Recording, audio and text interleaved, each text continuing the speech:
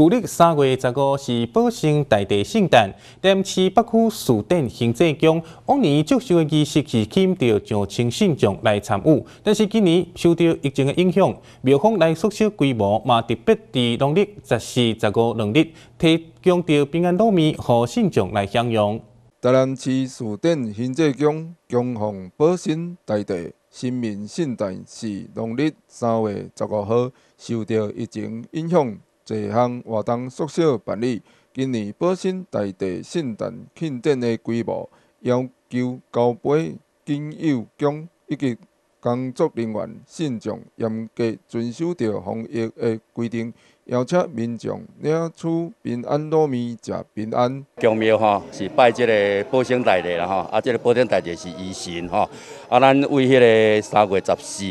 吼，迄个生日进前吼。就发一个平安糯米，互咱即个厝边隔壁，互咱这个信众吼啊来食平安。因这宫董事长吴福春表示，目前疫情也是严格遵守防疫的规定，无举办平安宴，该发送平安糯米，做好敦亲睦邻的工作。今日正日吼，三月十五哦，咱嘛有即个糯米。啊，发落咱遮信众啦吼，啊，分享即个圣诞千秋的即个喜悦啦，啊，咱信众吼会当